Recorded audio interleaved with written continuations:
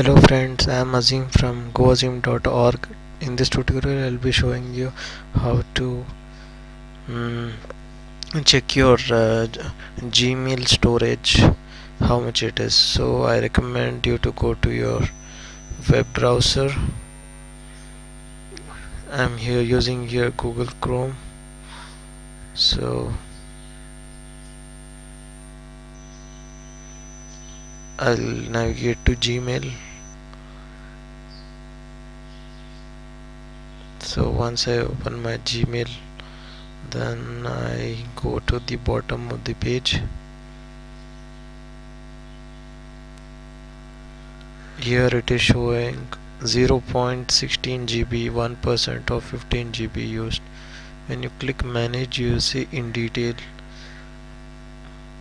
how much it is actual storage. Actually gmail provides 15 GB of total storage out of which I have used 0.16 GB of storage that is 1% so I have still more.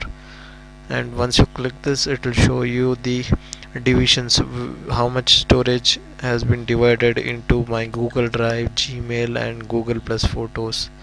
So I'm on current plan of uh, 15 GB it is default 15 GB you can upgrade to 100 GB by paying one dollar and 99 per month and also 1 TB also you can get it 20 maximum is up to 30 TB you can get for 299.99 dollars a month.